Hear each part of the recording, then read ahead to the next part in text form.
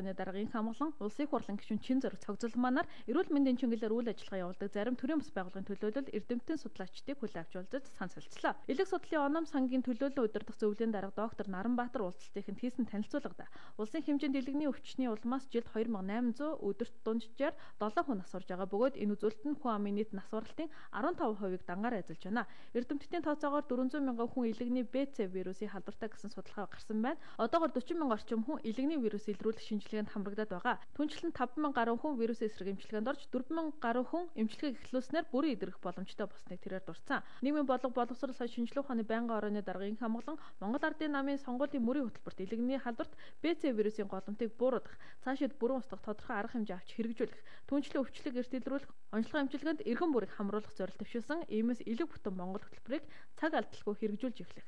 Энэ асуудалтай уялдуулан салбарын хууль эрх зүйн зохицуултыг улам боловсронгуй болгох, өнгөрсөн жилүүдэд батлагдсан эрүүл мэндийн салбарын хуулиудыг хэрэгжилтэнд хяналт тавихад тус байнгын хор анхаарч иргэний нийгмийн байгууллагууд эрдэмтэн судлаачид эрүүл мэндийн салбарын хамт олонтой нэгт хамтран ажиллах болно гэдгээ онцолсон юм.